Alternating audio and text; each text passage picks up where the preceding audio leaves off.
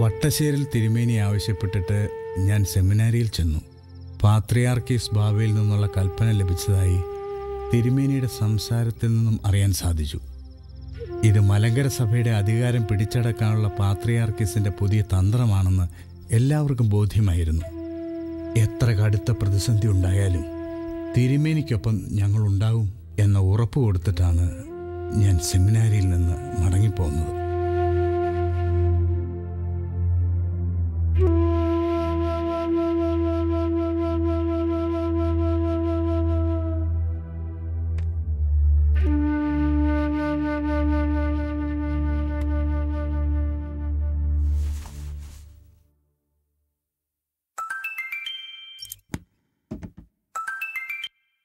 Hi, Susan. Hi, and what about the new project? Well, not yet decided.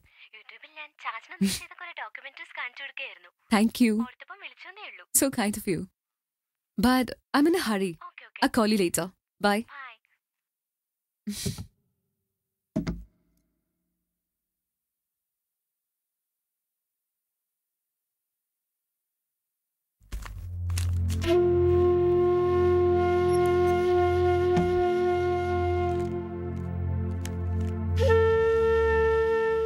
പോകുന്നതിന് മുമ്പ് ഞാൻ വീണ്ടും സെമിനാരിയിൽ ചെന്നു.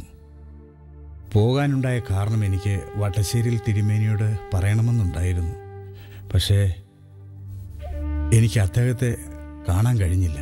അദ്ദേഹത്തിന് കൊടുക്കാൻ എന്റെ ഡയറി തിരുമേനിയുടെ കാര്യസ്ഥന്റെ കയ്യിൽ ഏൽപ്പിച്ചു.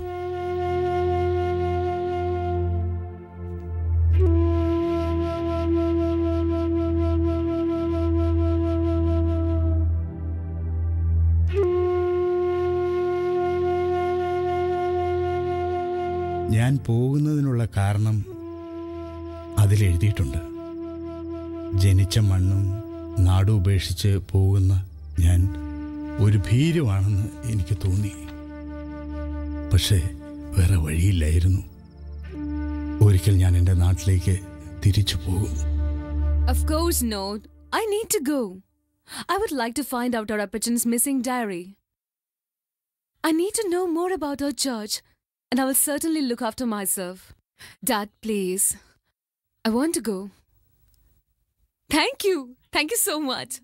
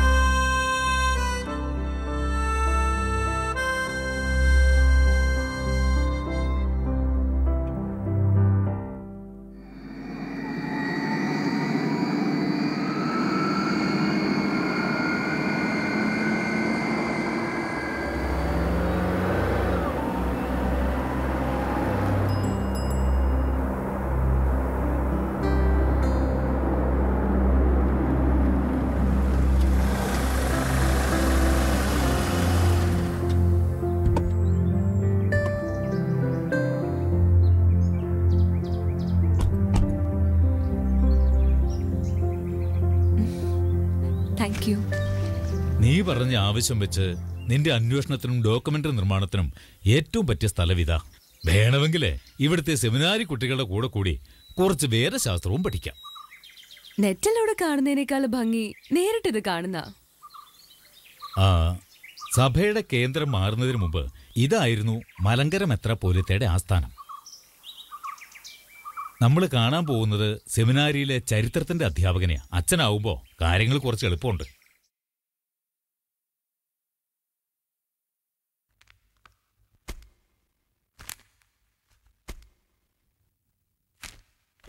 അച്ഛോ? ഞാൻ ഈ പുസ്തകങ്ങളൊക്കെ ഒന്ന് അടുക്കി വെക്കുകയായിരുന്നു. ഇപ്പൊ ഈ ലൈബ്രറിയുടെ ചാർജ് കൂടി എനിക്കാ. ഓ അത് ശരി. ഇതാണ് ഞാൻ പറഞ്ഞ ഓ നമ്മുടെ ഡോക്യുമെന്ററി അല്ലേ? ആ എന്താ മോളെ പേര്? ആ ഗുഡ്. സഭാ ചരിത്രത്തെക്കുറിച്ച് മുൻപ് ചെയ്ത ചില ഡോക്യുമെന്ററികൾ ഇവിടെ ഇരിപ്പുണ്ട്. കുട്ടിക്ക് അത് മതിയെങ്കിൽ ഞാൻ എടുത്തു തരാം. ഒന്ന് രണ്ടെണ്ണം യൂട്യൂബിൽ ഞാൻ കണ്ടിരുന്നു. പുതിയ രീതി ചെയ്യണമെന്ന് എനിക്ക് ആഗ്രഹമുണ്ട്. ആ അങ്ങനെയൊന്ന് വരുന്നത് വളരെ നല്ലതാ. അതിനുവേണ്ടി ഇവിടുത്തെ സൗകര്യങ്ങളൊക്കെ കുട്ടിക്ക് ഉപയോഗിക്കാം. എനിക്ക് കുറച്ച് സ്ഥലങ്ങളിലൊക്കെ പോയി ഷൂട്ട് ചെയ്യണമെന്നുണ്ട്. അതിപ്പോ ആ അതൊക്കെ നമുക്ക് ശരിയാക്കാം. എന്നാ ഞാൻ ഇറങ്ങട്ടെ. മോക്ക് എന്തെങ്കിലും ആവശ്യമുണ്ടെങ്കിൽ അച്ഛനോട് പറഞ്ഞാൽ മതി. കേട്ടോ? ശരി അച്ഛ. ഓക്കെ. ക്രിസ്ത്യൻ എത്തിക്സ് ഓക്കെ ആ ആൻ? ഇത് ജോൺ. ആൻ എവിടെയൊക്കെ പോയി ഷൂട്ട് ചെയ്യണമെന്ന് പറഞ്ഞില്ലേ? ജോണിനെ ഒപ്പം കൂട്ടിക്കോ. പുള്ളിക്ക് ചരിത്രത്തിലൊക്കെ നല്ല പിടിയാ. എന്നാ ഞാൻ ഇറങ്ങട്ടെ. എനിക്ക് അവർ ക്ലാസ് ശരി അച്ചോ. പോകേണ്ട സ്ഥലങ്ങളൊക്കെ തീരുമാനിച്ചോ? ഇല്ല ഒന്നും വ്യക്തമായി തീരുമാനിച്ചിട്ടില്ല. ആൻ എങ്ങനെ പ്ലാൻ ചെയ്യുന്നേ? ഇവിടെ അടുത്ത് സഭാചരിത്രവുമായി ബന്ധപ്പെട്ട് ഷൂട്ട് ചെയ്യാൻ പറ്റിയ പള്ളികളും സ്ഥലങ്ങളൊക്കെ എവിടെയാ ഉള്ളത്? അതിപ്പോ നമ്മുടെ സഭയിൽ തോമാസ് ലീഹ സ്ഥാപിച്ച നിരണം പള്ളിയുണ്ട് തിരുവിതാംകോട് അരപ്പള്ളിയുണ്ട് പിന്നെ അത് രണ്ടും വേണം. അതല്ലാതെ ഒരു ജൂയിഷ് കണക്ഷൻ കൊണ്ടുവരാൻ പറ്റിയ വല്ല സ്ഥലം ജൂയിഷ് കണക്ഷൻ ആ ഒരു സ്ഥലമുണ്ട്. ഇതുവരെ ഡോക്യുമെന്ററികളൊന്നും വന്നിട്ടില്ല. നമുക്ക് അവിടേക്കൊന്ന് പോവാം.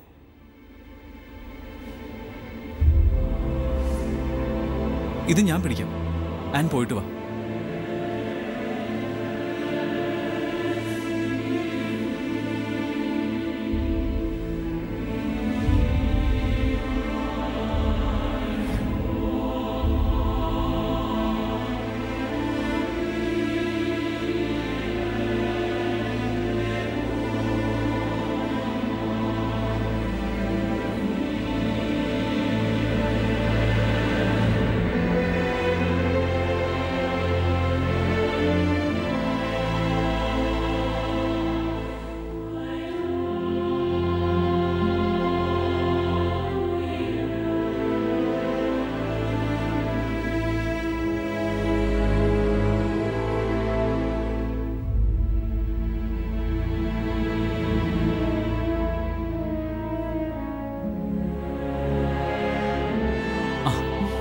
എങ്ങനെയുണ്ടായിരുന്നു? വെരി ഇൻട്രസ്റ്റിംഗ്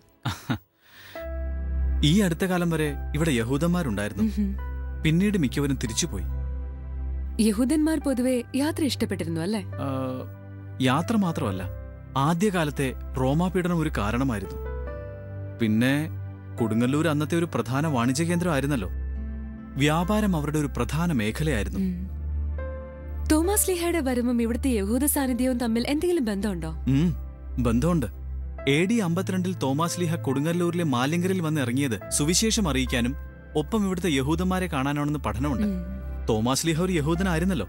ജോൺ ഒരു സഹായം ചെയ്യാവോ എന്താ പറഞ്ഞോളൂ. ജോൺ ഈ സെന്റ് തോമസ് ഹിസ്റ്ററിയെ കുറിച്ചൊന്ന് പറയാമോ? എനിക്കൊന്ന് ഷൂട്ട് ചെയ്യാം ഇത് മട്ടാഞ്ചേരി ജൂതത്തെരുവ്. കേരളത്തിലെ യഹൂദ സംസ്കാരത്തിന്റെ നിലനിൽക്കുന്ന സാന്നിധ്യമാണിവ. തോമാസ് ലീഹ ഇന്ത്യയിലെത്തിയത് സുവിശേഷവൽക്കരണത്തോടൊപ്പം ഇവിടുത്തെ യഹൂദന്മാരെ കാണാൻ കൂടിയാണെന്ന് പണ്ഡിതന്മാർ അഭിപ്രായപ്പെടുന്നു. എ ഡി അമ്പത്തിരണ്ടിൽ കൊടുങ്ങല്ലൂരിനടുത്ത് മാല്യങ്കരയിൽ വന്നിറങ്ങിയ തോമാശ്ലിഹ കേരളത്തിന്റെ പല ഭാഗത്തായി ഏഴ് പള്ളികളും തിരുവിതാംകോട് അരജന്റെ പള്ളി എന്നറിയപ്പെടുന്ന അരപ്പള്ളി സ്ഥാപിക്കുകയും ബ്രാഹ്മണ കുടുംബങ്ങളായ പകലോമറ്റം ശങ്കരപുരി കള്ളി കാളിയാങ്കൽ എന്നീ തറവാട്ടിൽ നിന്നുള്ളവർക്ക് കൈവെപ്പ് കൊടുക്കുകയും ചെയ്തു. ഒന്നാം നൂറ്റാണ്ടിൽ തന്നെ ക്രിസ്തുമതം ഇന്ത്യയിൽ സ്ഥാപിച്ച തോമാശ്ലീഹ എ ഡി എഴുപത്തിരണ്ടിൽ മൈലാപ്പൂരിൽ വെച്ച് രക്തസാക്ഷി മരണം വരിച്ചു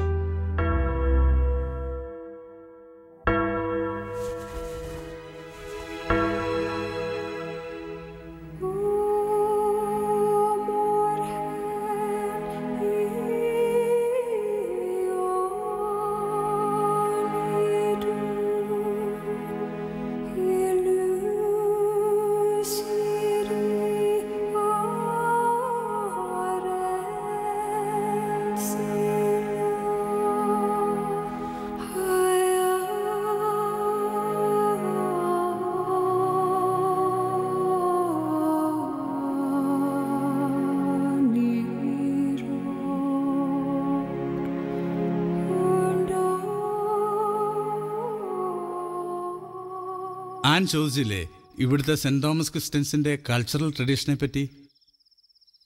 അതിനുള്ള ചില തെളിവുകളാണിത്. ആദ്യകാലത്ത് ഇവിടുത്തെ തോമമാർഗക്കാർക്ക് ക്രിസ്ത്യാനികൾ അങ്ങനെയാണല്ലോ അറിയപ്പെട്ടിരുന്നത്. രാജാക്കന്മാരിൽ നിന്ന് എഴുപത്തിരണ്ടോളം അധികാര അവകാശങ്ങൾ ലഭിച്ചിരുന്നു. അവ രേഖപ്പെടുത്തിയ ചെമ്പ് പട്ടയങ്ങളാണിവ.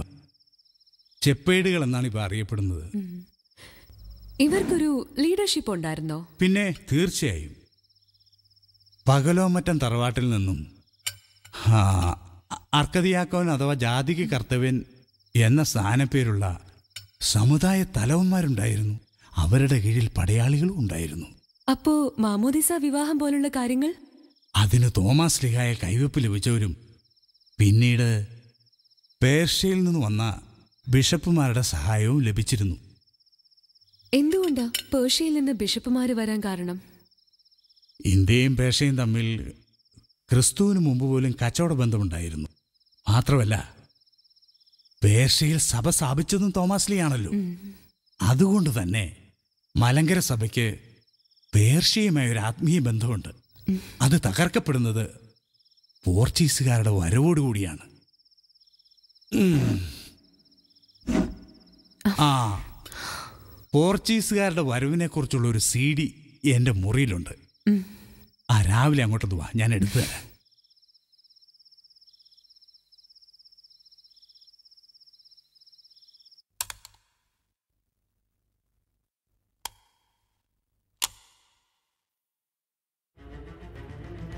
Portuguese general Vasco da Gama A D ആയിരത്തി നാനൂറ്റി തൊണ്ണൂറ്റിയെട്ട് മെയ് ഇരുപത്തിയൊന്നാം തീയതി. കോഴിക്കോട്ട് കപ്പലിറങ്ങി. താമസിയാതെ തന്നെ ദക്ഷിണേന്ത്യ പോർച്ചുഗീസ് ആധിപത്യത്തിൽ വന്നു. വാസ്കോഡഗാമ കേരളത്തിൽ വരുമ്പോൾ മലബാർ ക്രിസ്ത്യാനികൾ എന്നറിയപ്പെട്ടിരുന്ന മലങ്കര സഭ പേർഷ്യൻ സഭയുടെ സ്വാധീനത്തിലായിരുന്നു. തുടക്കത്തിൽ മലങ്കര സഭയ്ക്ക് പോർച്ചുഗീസുകാരുമായി ഒരു സൗഹാർദ്ദപരമായ ബന്ധമുണ്ടായിരുന്നു.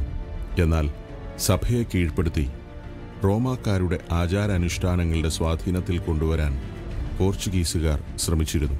അതിനായി ആയിരത്തി അഞ്ഞൂറ്റി തൊണ്ണൂറ്റി ഒൻപത് ജൂൺ ഇരുപതിന് അന്നത്തെ പോർച്ചുഗീസ് ആർച്ച് ബിഷപ്പായിരുന്ന അലക്സ് ഡി മെനസസിന്റെ നേതൃത്വത്തിൽ ഉദയം പേരൂരിൽ ഒരു സുന്നഹദോസ് വിളിച്ചു ചേർത്തു റോമാ സഭയുടെ അതീശുദ്ധത്തെ അംഗീകരിക്കുന്ന പല രേഖകളിലും അവിടെ കൂടിയിരുന്നവരെ കൊണ്ട് നിർബന്ധിച്ച് ഒപ്പുവെപ്പിച്ചു. പിന്നീട് റോമാ സഭാ ഭരണരീതി നടപ്പിലാക്കി.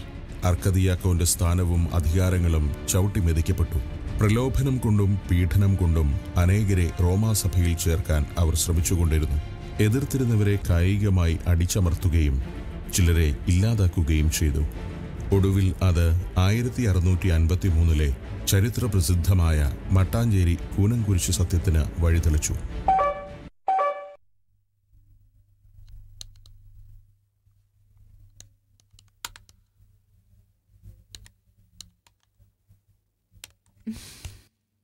ഏയ് എന്തു പറ്റി? എന്താ പ്രശ്നം? പോർച്ചുഗീസ് ഇൻവേഷനെ പറ്റിയുള്ള സീരിയ. ഇത് വർക്കാവുന്നില്ല.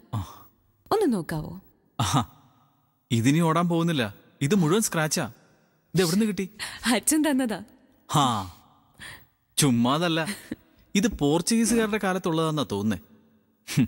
ഷോ നല്ല ത്രില്ലടിച്ചു വരുമായിരുന്നു നമുക്ക് കൂനെ കുറിച്ച് സത്യം